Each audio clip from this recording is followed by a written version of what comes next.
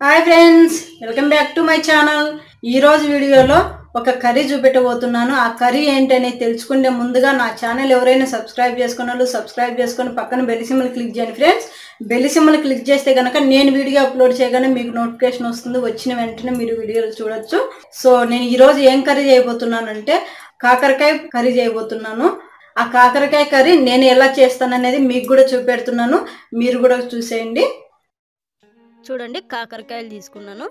ఈ కాకరకాయ కూడా నేను పైన జిగురుకుంటానండి. అలా జిగురుకోవడం వలన కర్రీ చేదు ఉండదన్నమాట కాకరకాయలు తీసుకున్నాను ఉల్లిగడ్డ ఒకటి తీసుకున్నాను టమాటాలు రెండు తీసుకున్నాను పచ్చిమిర్చి ఒకటి తీసుకున్నాను కొన్ని పల్లీలు కూడా తీసుకున్నానండి. మీకు ఇష్టమైతే నువ్వులు కూడా తీసుకోవచ్చు. చింతపండు కూడా నానబెట్టుకున్నాను. అన్ని కర్రీస్ కన్నా కాకరకాయ కర్రీకి కొంచెం చింతపండు ఎక్కువే నానబెట్టుకోవాలి. చూడండి కాకరకాయ కూడా జిగురుకుంటున్నాను. ఇలా మొత్తం జిగిరేసి సపరేట్గా ఒక ఐదు నిమిషాలు ఉడికించి కర్రీ చేసుకోవడం వలన కాకరకాయ కర్రీ అస్సలు చేదు ఉండదండి చేదు ఇష్టపడే వాళ్ళైతే కనుక డైరెక్ట్ మామూలు ఇలా జిగరకుండా కట్ చేసుకొని కర్రీ చేసేసుకుంటారు. కానీ అలా కొందరు తింటారు కొందరు తినలేరండి. మేమైతే కాకరకాయ కర్రీ చేదు ఉంటే అస్సలు తినలేమన్నమాట. దానివల్లన ఇలా చేస్తున్నాను నేను. ఆ చేదు మొత్తం పోవడానికి ఇలా చేస్తున్నానండి. చూడండి నీట్గా జిగురుకున్నాను. ఇవి ఇప్పుడు పొడుగ్గా కొంచెం సన్నగా కట్ చేసి పెట్టుకున్నాము చూడండి కట్ చేసుకున్నాను. ఇలా సన్నగా కట్ చేసి పెట్టుకుంటే మనకి అవి తొందరగా ఉడుకుతాయి. చేదు కూడా పోతుందన్నమాట. ఉప్పు వేసుకుంటున్నానండి. ఈ ఉప్పు వేసుకొని ఉడికించుకోవడం వలన కాకరకాయ చేదు మొత్తం పోతుంది.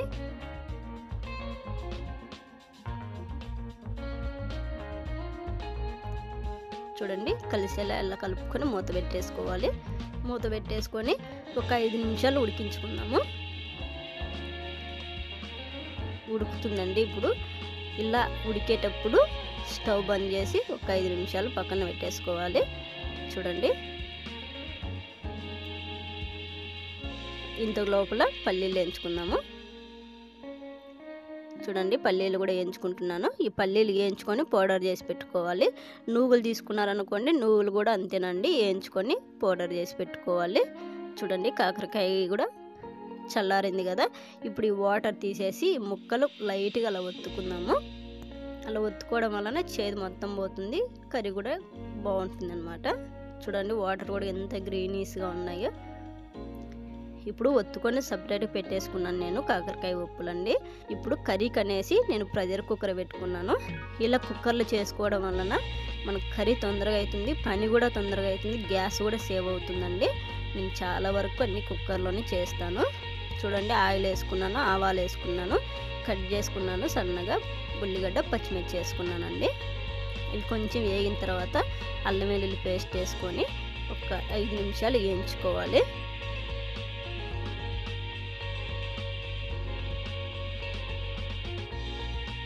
ఇలా పచ్చివాసన పోయినంత వరకు వేయించుకోవాలి. కరివేపాకు వేసానండి. నేను ముందు కొంచెం మర్చిపోయాను అనమాట కరివేపాకు వేయకుండా. ఇప్పుడు వేసాను. చూడండి కాకరకాయలో వాటర్ లేకుండానే వత్తేసుకున్నాను ఇవి వేసుకొని ఇప్పుడు ఒక ఐదు నిమిషాలు పది నిమిషాలు వేయించుకోవాలి. ఇలా నూనెలో వేయించుకుంటే కనుక ఉన్న చేదు మొత్తం ఇంకా పోతుందన్నమాట. కర్రీ కూడా టేస్ట్ చాలా బాగుంటుంది ఇలా వేయించుకోవడం వలన. నేనైతే ఒక పది నిమిషాలు వేయించుకుంటానండి. చూడండి పల్లీల పౌడర్ కూడా నేను రెడీ చేసి పెట్టుకున్నాను. ఈ పల్లీల పౌడర్ వేయడం వలన గ్రేవీ లాగా వస్తుంది కర్రీ టేస్ట్ కూడా చాలా బాగుంటుందండి. చూడండి నేను షుగర్ కూడా కొంచెం వేసుకొని కలుపుకుంటున్నాను. ఈ షుగర్ వేసుకోవడం వలన ఎక్కడన్నా మనకు చేదు అనిపించినా కూడా అది కవర్ చేసేస్తుంది అనమాట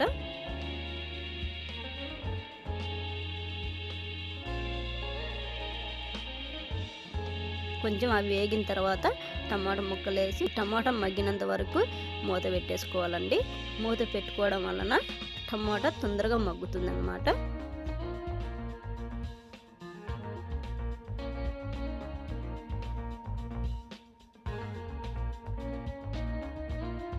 చూడండి టమాటా కూడా మగ్గిపోయింది. కాకరకాయ కూడా చాలా బాగా వేగిందనమాట ఆయిల్లో. చూడండి మీకు కూడా చూపెడుతున్నాను. ఇలా టమాటా మగ్గిన తర్వాత ఇప్పుడు దీంట్లో అన్ని మసాలాలు వేసుకున్నాము. చూడండి ధనియాల పౌడర్ వేసాను. జీలకర్ర మెంతిపిండి పౌడర్ వేసానండి. కారం వేస్తున్నాను.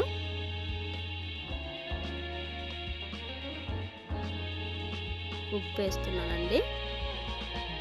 ఇప్పుడు దంచి పెట్టుకున్న పల్లీల పౌడర్ వేసుకుందాము.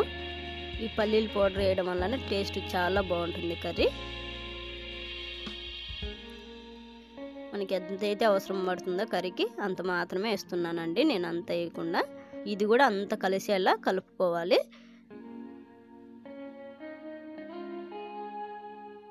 చూడండి చింతపండు కూడా నానబెట్టుకున్నాను కదా ఆ గుజ్జు ఇప్పుడు మనం దీంట్లో వేసుకోవాలి. అన్ని కర్రీస్కి కొంచెం చింతపండు వాడితే పులుపు అనుకుంటారండి కానీ కాకరకాయ కర్రీకి కొంచెం చింతపండు ఎక్కువ వేసుకోవాలి. పులుపు ఏమి ఉండదండి కాకరకాయ కర్రీకి. కాకరకాయ కర్రీకి కొంచెం చింతపండు ఎక్కువే పడుతుంది. నేను వాటర్ కూడా కొంచెం తగ్గించేస్తున్నాను. ఎందుకంటే కాకరకాయ మనం ముందుగా ఉడికించుకున్నాం కాబట్టి ఇప్పుడు కొంచెం వాటర్ తక్కువ వేస్తున్నాను. ఒక ఈజిల్ ఇచ్చుకుంటే చాలండి కాకరకాయ మెత్తగా ఉడికిపోతుంది. మనం ముందుగా ఉడికించుకున్నాం కాబట్టి కర్రీ కూడా తొందరగా అయిపోతుంది. చూడండి వాటర్ కూడా చాలా తక్కువ వేసాను. ఇప్పుడు మూత పెట్టేసుకోవాలి. చూడండి కర్రీ కూడా రెడీ అయిపోయింది. మీకు కూడా తిప్పుకుంటూ చూపెడతాను.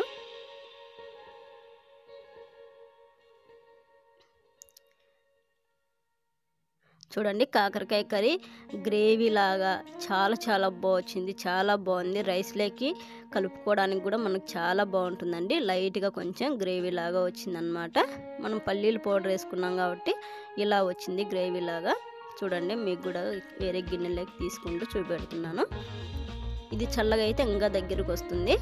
చాలా చాలా బాగుందండి. టేస్ట్ కూడా చాలా బాగుంది. చేదు అనేదే ఉండదు. మనం ఉడికించుకొని కర్రీ చేసుకున్నాం కాబట్టి చేదు అనేదే ఉండదు. చూడండి మీకు కూడా క్లోజ్లో చూపెడుతున్నాను. చాలా చాలా టేస్టీగా ఉంది. మీరు కూడా ఒకసారి ట్రై చేయండి ఫ్రెండ్స్. ఇలా చాలా చాలా బాగుంటుంది. ఈ కర్రీ రైస్ లేకైనా బాగుంటుంది చపాతీ లేకైనా చాలా బాగుంటుందండి. సో చూసారు కదా ఫ్రెండ్స్? కాకరకాయ కర్రీ ఎలా చేసుకోవాలనేది. ఇలా కాకరకాయ కర్రీ చేసుకుంటే కనుక టేస్ట్ చాలా చాలా బాగుంటుంది. ఇలా చేసుకోవడం వలన చేదు కూడా ఉండదండి. కాకరకాయ కర్రీ కరెక్ట్ చేయడం రాకపోతే కనుక చేదు వస్తుంది. మనం రైస్ లేకి తినలేము. ఇలా నేను ఈరోజు చూపించిన విధానంగా మీరు చేసుకుంటే కనుక కాకరకాయ కర్రీ చేదు కూడా ఉండదండి. సో ఎందుకంటే మనం ఫస్ట్ ఉప్పేసి ఉడకబెట్టి ఆ వాటర్ అంతా తీసేసాం కాబట్టి చేదు కూడా అస్సలు ఉండదు. కర్రీ కూడా టేస్ట్ చాలా చాలా బాగుంది. నేను టేస్ట్ చూశాను కర్రీ ఈరోజు. చాలా బాగా వచ్చిందండి. ఇలా మీరు కూడా కాకరకాయ కర్రీ ట్రై చేసి ఎలా ఉంది అనేది నా వీడియో కింద కామెంట్ చేసి చెప్పొచ్చు. అదేవిధంగా నా ఛానల్ సబ్స్క్రైబ్ చేయడం మాత్రం మర్చిపోకండి. So okay friends. Bye bye.